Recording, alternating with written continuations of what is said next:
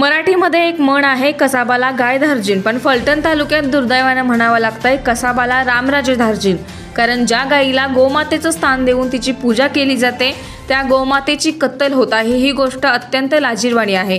श्रीमंत रामराजे नाईक निंबाळकर यांच्या कृपाशीर्वादाने असलेल्या सोनतळ येथील कत्थलखाना तातडीने बंद करावा या प्रश्नावर रामराजेंनी आपली भूमिका स्पष्ट करावी अशी मागणी भारतीय जनता पार्टी अल्पसंख्याक मोर्चाचे प्रदेश उपाध्यक्ष अनुप शाह यांनी पत्रकाद्वारे केली आहे. दोन मार्च रोजी रात्रीच्या सुमारास अठरा छोटी वासरे पकडण्यात आली. सदरच्या वासरांची वाहतूक श्रीमंत रामराजे नाईक निंबाळकर वाहतूक संस्थेच्या गाडीमधून करण्यात येत होती. ही बाब निंदनीय आहे याचा मी जाहीर निषेध करतो असेही ते यावेळी म्हणाले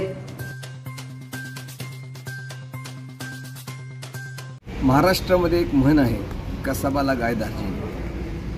पण आमच्या फलटण तालुक्यामध्ये कसाबाला रामराजे धार्जिन म्हणण्याची वेळ आलेली आहे. कारण फलटण तालुक्यामध्ये सुरू असलेल्या कत्तलखान्याला रामराजेंचा वर्धास्त आहे.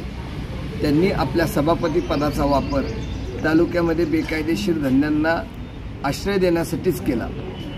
त्यामधील एक हा बेकायदेशीर धंदा.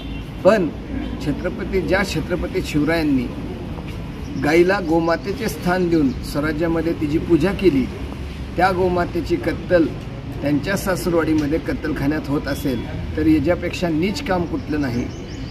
अशा नीच कामाला पाठिंबा देणाऱ्याला काय म्हणायचं? आता हे जनतेनेच ठरवावं.